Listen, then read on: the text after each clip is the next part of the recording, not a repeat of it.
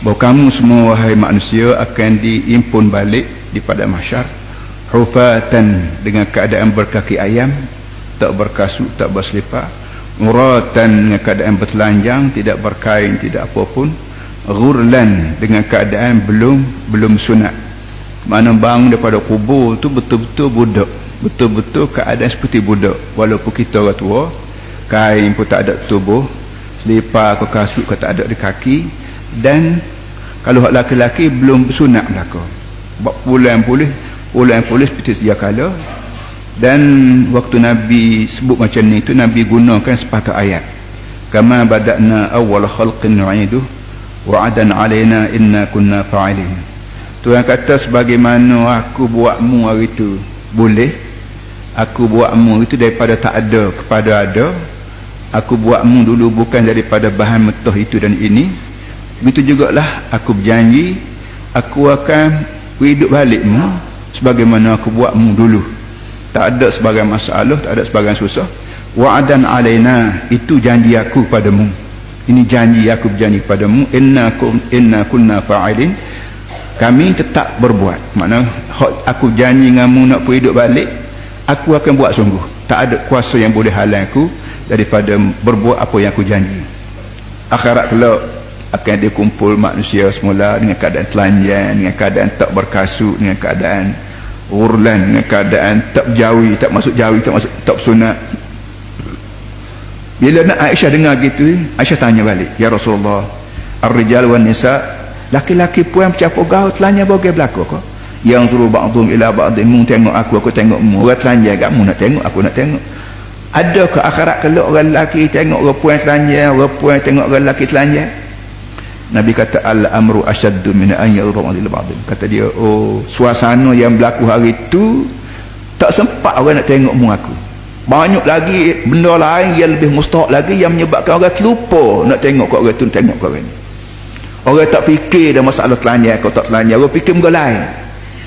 Buk, buk, fikir boleh jadi masalah makan minum tak tahu tuan perut lapar tekok dahaga orang tak cara dah ketika tu siapa telanjang siapa makan orang tak cara.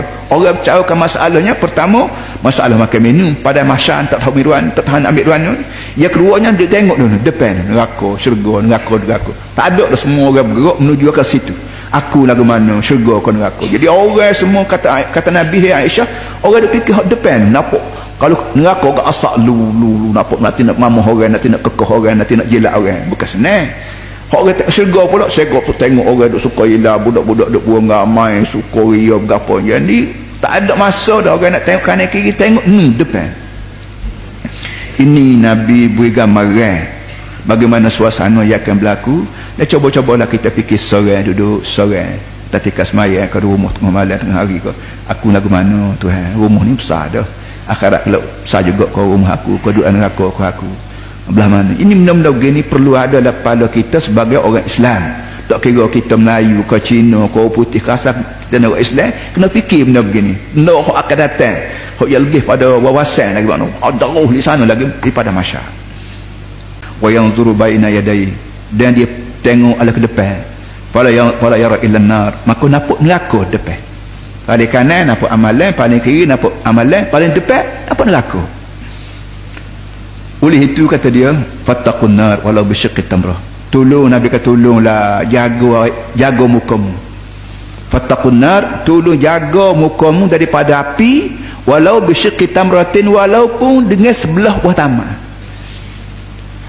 as-sadaqatu junnah. Sedekah ni junnah nabi kata.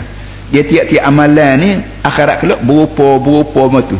Di antara amalan di antara di antara rupa amalan ialah amalan sedekah berupa junnah berupa perisai daripada api neraka.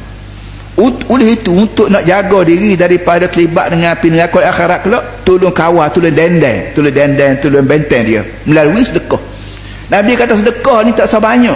Watama sebutir membelah dua. Memakai ke sebelah bui ke pakai miskin sebelah maka dia juga akan dikira di akhirat kalau bui sebutir nah bui sopik nah tak usah kira lah. Tak ada arah nak buat. Makcik ambo tak ada. Lain pada waktu mas putih. Kita belah dua lah makcik makcik ambil sebelah. Ambo makan sebelah. Tak apa Nabi kata.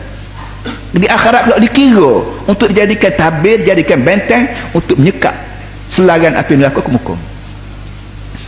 Orang Islam bila dia derma bukan sekadar kerana kesian belah kepada fakir miskin tapi kerana usaha dia nak dendam dia nak tubuh dia nak benteng tubuh dia daripada selaran api neraka ini benda-benda begini. Makna tak ada dalam ajaran lain. Ajaran nasionalis ke ajaran demokrasi ke ajaran komunis ke pragmatis tak ada ajar pun lagu. Dia nak ajar lagu mana? Syurga neraka bukan orang reti. Kalau tidak kerana nabi-nabi beritahu syurga neraka mana orang reti. Marilah bapak nasionalis marilah bapak demokrasi marilah bapak komunis sekalipun dia tidak boleh rayak benda-benda sakut akhirat kalau dia rayak juga ceng dia curi-curi ajaran Nabi Muhammad SAW jadi pada duk curi-curi gitu baik ambil semua dah tu curi-curi ni sulit-sulit ambil cara terang-terang kita biar terang-terang Islam sebab tu innal ladina qalu rabbunallah Tuhan kata orang yang beriman dia sanggup kata mulut dah. Kalau beriman saja senyap, tak jadi. Beriman dalam hati, kata mulut. Bahawa la ilaha illallah. Segala-gala pakai kerja semua. Dunia akhirat.